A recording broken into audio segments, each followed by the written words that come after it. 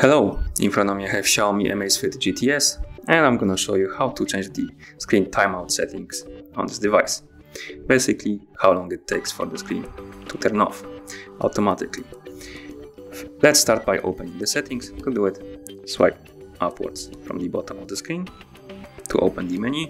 Here let's scroll down and tap on settings. In settings we have option screen auto off.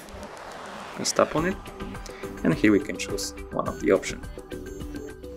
For example, we can set uh, 5 seconds, 6 seconds, 7 seconds, 8 seconds and up to 15 seconds, whatever you like.